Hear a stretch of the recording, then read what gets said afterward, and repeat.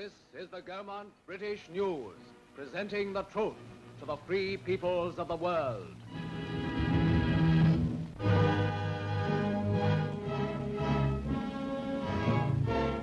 Ever since the day of victory, the dark shapes of German U-boats have been converging on the ports of the British Isles, their black surrender flags soon to be replaced by the white ensign.